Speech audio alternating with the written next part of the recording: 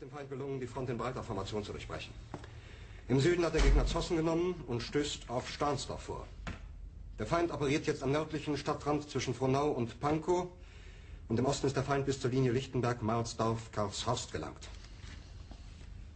Mit dem Angriff Steiners wird das alles in Ordnung kommen. Mein Führer, Steiner Steiner konnte nicht genügend Kräfte für einen Angriff massieren. Der Angriff Steiner ist nicht erfolgt.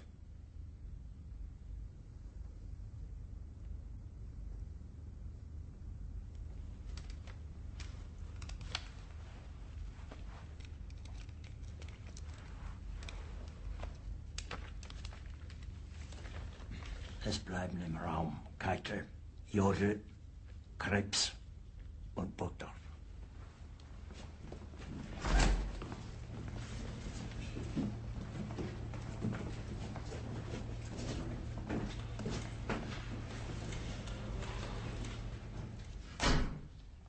Das war ein Befehl!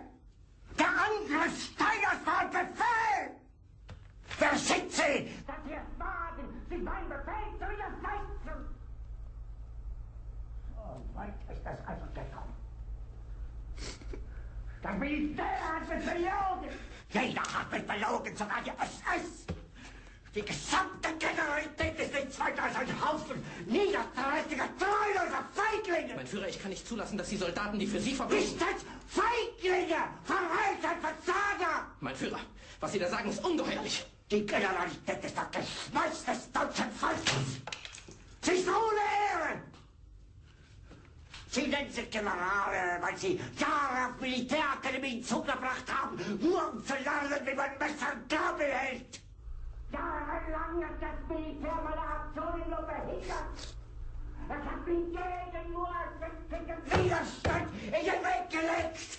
Ich hätte gut daran getan, von Jahren alle höheren Offiziere liquidieren zu lassen, wie Stalin!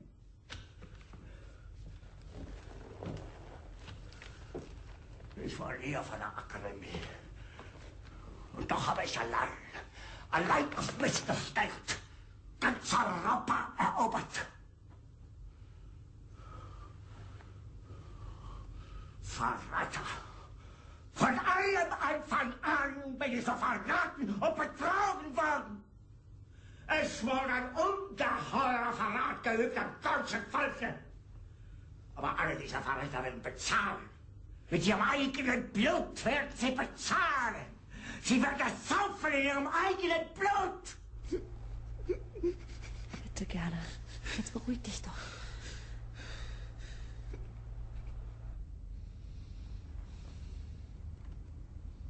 Meine Befehle sind in den Wind gesprochen. Es ist unmöglich, unter diesen Umständen zu führen. Es ist aus.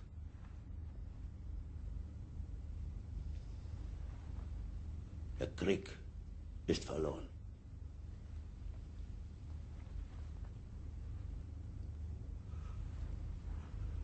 Aber wenn Sie, meine Herren, glauben, dass ich deswegen Berlin verlasse, irren Sie sich gewaltig. Eher jage ich mir eine Kugel durch den Kopf.